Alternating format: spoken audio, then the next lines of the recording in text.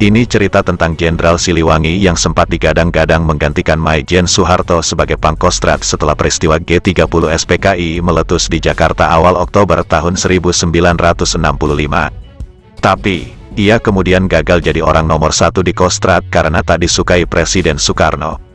Meski kemudian, ketika Soeharto sudah jadi presiden, Jenderal Siliwangi ini akhirnya dipercaya jadi Pangkostrat, Jenderal Siliwangi yang dimaksud adalah Letjen Kemal Idris. Dalam buku, Kemal Idris, Bertarung dalam Revolusi, yang disusun Rosihan Anwar, Ramadan KH, Rai Rizal dan Din Majid. Kemal Idris bercerita, pada pada bulan November tahun 1965, ia mendapat tugas baru menjadi Wakil Jenderal Harto yakni diminta untuk menjabat sebagai Kepala Staf Kostrat menggantikan Jenderal Ahmad Wiranata Kusumah. Tugas yang dibebankan kepada Kemal selain menangani masalah konfrontasi, karena dia juga ditunjuk sebagai Panglima Pasukan Darat, juga merencanakan pembersihan-pembersihan sisa pendukung G30 SPKI di daerah. Tidak lama setelah bertugas di Jakarta muncul gerakan mahasiswa. Saya banyak mengetahui gerakan itu karena anak saya mahasiswa ITB dan kawan-kawan yang datang dari Bandung selalu menginap di rumah. Mereka sering meminta nasihat dan saya memberikan apa yang saya ketahui dan mendukung gerakan itu terutama dari segi pengamanannya, kata Kemal.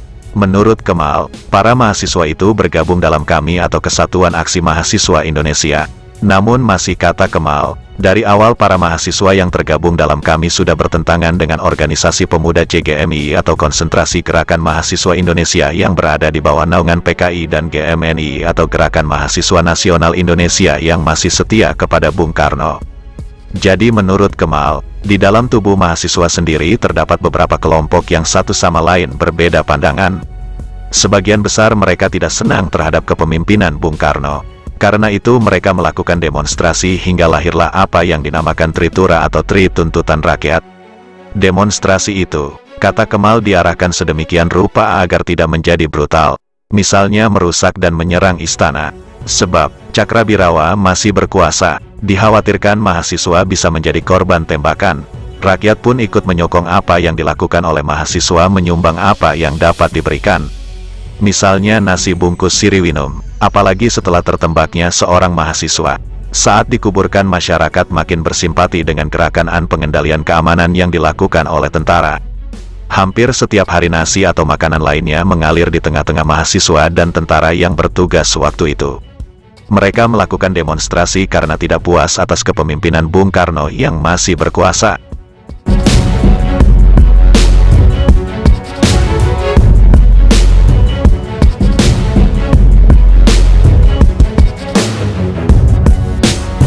Dalam situasi yang genting itu, kata Kemal Idris dalam tubuh Angkatan Darat terjadi kekosongan pimpinan, terutama setelah Ahmad Yani meninggal, untuk menggantikan kedudukan Ahmad Yani sebagai Menteri Panglima Angkatan Darat, Bung Karno menunjuk Maijen Pranoto sebagai pejabat sementara Menteri Panglima Angkatan Darat.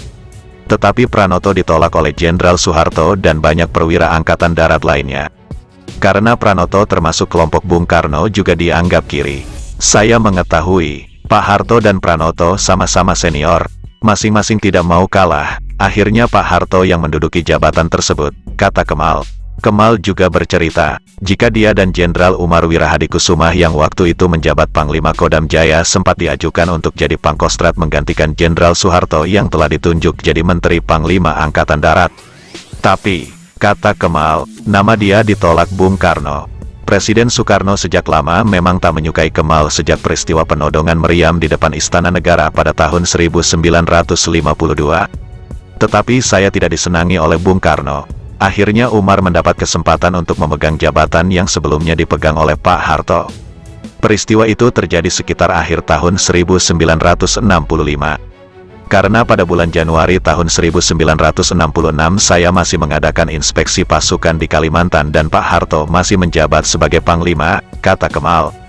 Pada akhir bulan November tahun 1965, Kemal menyaksikan kegiatan mahasiswa yang menghalang-halangi para menteri mengikuti rapat kabinet dan mengempesi ban mobil yang diparkir di pinggir jalan agar mereka tidak sampai di istana. Mereka melakukan tuntutan yang bernama Tritura yakni turunkan harga, bubarkan PKI dan bentuk kabinet baru. Kami mendukung gerakan ini, sebab kalau angkatan bersenjata yang memulai, Kelihatannya seolah-olah pengalihan kekuasaan secara keras. Kudeta, pada bulan Januari tahun 1966 kondisinya memang agak gawat. Saat itu beredar berita-berita, bahwa sebagian angkatan bersenjata, angkatan laut dan angkatan udara tidak senang pada gerakan mahasiswa. Mereka selalu mencemooh gerakan mahasiswa. Karena banyak pasukan mereka yang terlibat PKI atau gerakan Bung Karno, kata Kemal. Terbetik berita juga kata Kemal bahwa ada yang ingin menyerang. Ternyata itu hanya kabar burung saja. Mahasiswa melakukan demonstrasi dengan tertib, tidak merusak, dan Angkatan Darat selalu mengawasi. Kepada saya dipercayakan memimpin semua pasukan yang ada di Jakarta. Saya mengambil langkah-langkah yang lebih positif dalam menunjang dan mengamankan gerakan mahasiswa. Beberapa anggota saya, saya tempatkan di markas kami. Saya pernah dipanggil oleh Pak Harto, kata Kemal. Jagalah anak-anak muda ini jangan sampai mereka menjadi korban. Gerakan mereka adalah gerakan kita juga, kata Pak Harto. Pak Harto, saya sudah mendahului mengamankan mereka, jawab Kemal.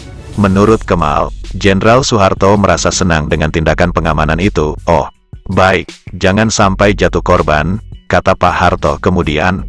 Kata Kemal, strategi yang ia lakukan itu sangat mendukung jalannya gerakan mahasiswa dan pengamanan yang dikehendaki pada masa itu.